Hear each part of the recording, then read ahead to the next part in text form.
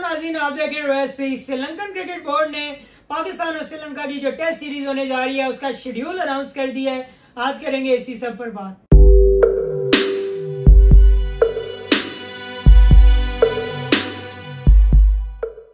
जी नाजीन Pakistan cricket team और श्रीलंका के दरमियान अब दो टेस्ट मैचेस की सीरीज़ खेली जाएगी। पाकिस्तान क्रिकेट टीम का सीज़न कुछ अरसे से ऑफ़ था। ऑब्वियसली पाकिस्तान ने न्यूजीलैंड के अगेंस्ट आखिरी ओडीआई और टी ट्वेंटी सीरीज़ खेली थी। मई में जो मई के इनिशियल डेज़ में ही वो सीरीज़ खत्म हो गई थी। टी ट्वेंटी मैचेस खेले गए थे।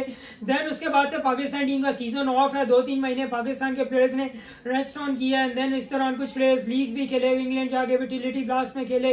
एंड देन उसके बाद फिर प्लेयर्स ने ऑब्वियसली हज की कुछ फरीजा भी इंजाम दिया। जैसे बाबर आज़म, फहीम अशरफ, उसके बाद फकर जमान सब हज पे गए हुए थे। तो ऑब्वियसली बहुत बहुत ज़्यादा एक रेस्ट सीज़न चल रहा था पाकिस्तान क्रिकेट टीम का और उसके बाद अब दोबारा से सीज़न स्टार्ट होने जा रहा है।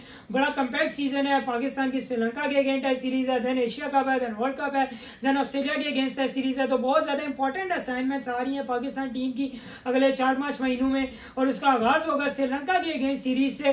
तो श्रीलंकन क्रिकेट बोर्ड ने टेस्ट सीरीज़ का शेड्यूल अनाउंस कर दिया। पाकिस्तान क्रिकेट टीम का अभी रिसेंटली कैंप भी लगा हुआ था कराची में। Then Pakistan team fly off करेगी श्रीलंका के लिए। कुछ न्यू इंक्लूजन भी हुई हैं लाइक मोहम्मद वरेरा एंड देन आमिर जमाल को सिलेक्ट किया गया। हम डिटेल में बात करेंगे जो, जब टीम पे बात करेंगे स्कॉट पे पाकिस्तान टीम का अनाउंस हो चुका है कुछ दिन पहले ही, उस पर बात करेंगे। लेकिन अगर शेड्यूल में स्पेसिफिकली बात करें तो 11 जुलाई से एक दो रोजा प्रैक्टिस मैच खेला जाएगा। देन उसके बाद पहला टेस्ट मैच खेला जाएगा 16 से 20 जुलाई तक गॉल के मैदान पर पाकिस्तान क्रिकेट टीम और ऑब्वियसली जब भी श्रीलंका में कोई सीरीज़ होती है तो उसका पहला मैच मोस्टली गोल में ही होता है। तो ऑब्वियसली देन उसके बाद दूसरा मैच खेला जाएगा चौबीस से अट्ठाईस जुलाई तक एस सी स्टेडियम में। तो लास्ट ईयर भी इन्हीं डेज़ में पाकिस्तान क्रिकेट टीम श्रीलंका गई थी। तो पाकिस्तान टीम को वहाँ पे पहला मैच तो गोल के मैदान पर जीती थी, जहाँ पाकिस्तान ने 360 रन चेस किए थे। अब्दुल्ला शफीक ने बड़ा हिस्टोरिकल नाक खेला था। लेकिन दूसरे मैच में पाकिस्तान टीम पे उल्टी भी बढ़ गई थी, क्योंकि दो के बड़े मार्जिन से पाकिस्तान हार गया था। Sri Lankan cricket team obviously Sri Lanka जी की जो कंडीशन है, वो स्पिनर्स को बहुत ज़्यादा मोटिवेटेड होंगी। फास्ट बॉलर इतना ज़्यादा यूटिलाइजेबल शायद ना हो पाए पाकिस्तान टीम ने फास्ट बॉलर सेलेक्ट ऑन तो किए हैं शाहिन शाह अफरीदी आमिर जमाल हसन अली को भी कम कराया गया। शाहिन शाह अफरीदी एक साल बाद कम कर रहे हैं। लास्ट ईयर वो श्रीलंका में इंजर्ड हुए थे और अब श्रीलंका में ही कम करेंगे। लेकिन मेनली मेरा ख्याल है जो रोल होगा, वो स्पिनर्स का होगा, क्योंकि श्रीलंकन क्रिकेट टीम ने लास्ट ईयर जब पाकिस्तान को फंसाया था तो स्पिनर्स के ही थ्रू फंसाया था लाइक पबा जसूरिया ने बड़ी अच्छी परफॉर्मेंस दी थी। लेकिन देखें मेन पॉइंट इज़ दैट कि हमारी अप्रोच क्या होगी? क्योंकि ये नया साइकिल शुरू हो रहा है वर्ल्ड टेस्ट चैंपियनशिप का।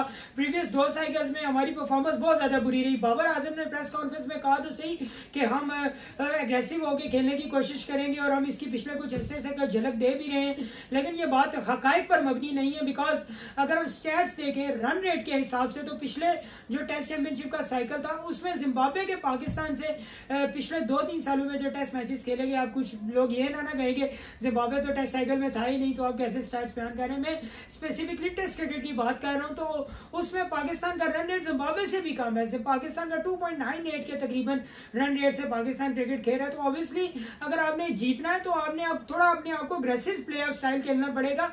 हम टी क्रिकेट में भी रन ऑफ़ बॉल क्रिकेट खेल रहे होते हैं। रन रेट देख लें आप, बाबर आज़म और मोहम्मद रिजवान हो। टी ट्वेंटी क्रिकेट में 120 30 का आ रहा है। तो जो गेम हमने फास्टर अंदाज से खेली हम उसको बड़ा स्लो खेल रहे हैं अभी। उसमें भी हम अभी तक मॉडर्न तकाजु के पर नहीं पहुँच सके। तो टेस्ट क्रिकेट उसमें हम कैसे बेसबॉल का या जो इंग्लैंड का कंसेप्ट है, उसको अचीव करेंगे? भाई, पहले जो क्रिकेट तेज खेलनी है, उसको तो अच्छी तरह तेज खेल लें। फिर आप टेस्ट क्रिकेट की तरफ़ देखें। टेस्ट क्रिकेट को भी देखना ज़रूरी है, लेकिन अप्रोच एक टाइम के साथ आएगी। यहाँ से हमें अप्रोच चेंज करनी पड़ेगी? ये जो फियर ऑफ़ आउट है ये कम करना पड़ेगा। ये तब होगा जब हम अपने प्लेयर्स को कॉन्फिडेंस देंगे। देखिए जब एक प्लेयर को यही नहीं कॉन्फिडेंस कि वो अगले मैच में खेलेगा या नहीं खेलेगा तो वो कैसे तेज खेल पाएगा? उसे भी ठेका ही लगाना है, अपनी एवरेज इंप्रूव करनी है ना। तो ऑब्वियसली प्लेयर्स को कॉन्फिडेंस देने की ज़रूरत है, उनकी जगह पक्की करवाने की ज़रूरत है। तो जाके वो आपको एक ब्रिलियंट कुछ अरसे में आपको ऑब्वियसली अगर आप ये ट्राई आउट करेंगे तो इसका बैकलैश भी आएगा, जिसको आपने सर्वाइव करना है। तो आपको रिज़ल्ट ओरिएंटेड करना पड़ेगा, क्योंकि बहुत ज़्यादा इंपॉर्टेंट ये टेस्ट सीरीज़ के टेस्ट साइकिल के हवाले से सीरीज़ है तो पाकिस्तान को अच्छा परफॉर्म करना पड़ेगा। इनशाला बहुत जल्द आपसे दोबारा मुलाकात होगी। तब तक के लिए अल्लाह ने के बाद दो में याद रखेगा पाकिस्तान जिंदाबाद, कश्मीर पाइंदाबाद